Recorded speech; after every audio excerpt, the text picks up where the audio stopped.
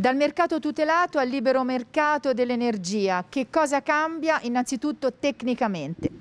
Tecnicamente cambia che dal 1 gennaio 2021 le piccole e medie imprese saranno oh, costrette a dover scegliere un fornitore di energia elettrica nel libero mercato perché il mercato tutelato andrà a scomparire. È importante definire la piccola e media impresa perché devono rispondere almeno ad uno di questi tre requisiti o un contatore con una eh, potenza disponibile di 15 kW, un numero di personale che va dai 10 ai 50 50 dipendenti o un fatturato annuo che va ehm, dai 2 ai 10 milioni. La scelta del fornitore, del nuovo fornitore dovrà essere fatta entro il,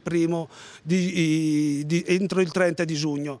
e prevede per chi non ha poi fatto questa scelta eh, che gli verrà affidato un fornitore eh, che vince un'asta territoriale. Per eh, una tutela, un aiuto, eh, Confartigianato ha uno sportello. Lo sportello eh, di Multienergia è qui che, con il nostro Simone Verdelli. Qual è l'importanza di questo sportello? L'importanza è quello di avere un consorzio che tiene sotto controllo i prezzi e quindi riesce a fornire a tutte le imprese, le piccole, le micro, le grandi imprese che fanno parte del mondo di Confartigianato un prezzo tutelato a garanzia che viene tenuto sotto controllo che non ci siano troppi aumenti. Quindi in questo periodo in cui ci saranno questi questi cambiamenti da questo primo semestre 2021 fino al prossimo anno in cui anche le famiglie e quindi ecco che lo sportello multienergia si rivolge anche alle famiglie, alle famiglie di tanti amici pensionati che abbiamo con noi iscritti e alle famiglie delle imprese, ecco che quindi andiamo a coprire dal punto di vista energetico tutte le necessità